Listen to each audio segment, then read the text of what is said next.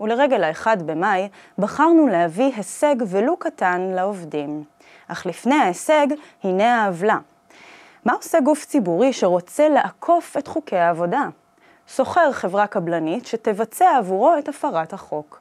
שיתוף הפעולה בין רשות העתיקות וחברת כוח האדם בריק הביא לניצול של עובדי החפירות אשר הועסקו לחודשים ספורים ופוטרו רגע לפני הפיכתם לעובדים מן המניין. كنا نشتغل تسعة أشهر وحتى أحيانا ثمانية وودوها مكتب العمل ست أشهر. لما لما أجوا بدهم يعطونا لكوت الشغل قالوا كل واحد له أكثر من تسعة أشهر بهو على البيت ما بيجيش على الشغل.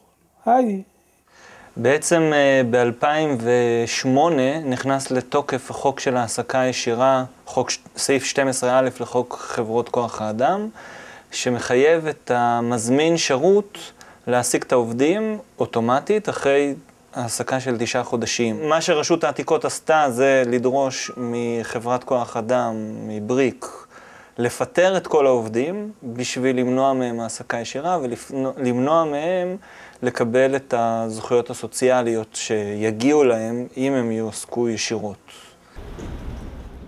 העובדים, שמאסו בהתנהלות הפוגענית של חברת הקבלן ורשות העתיקות, התאגדו דרך ארגון העובדים מען ופנו לבית המשפט בדרישה להעסיקם בצורה ישירה.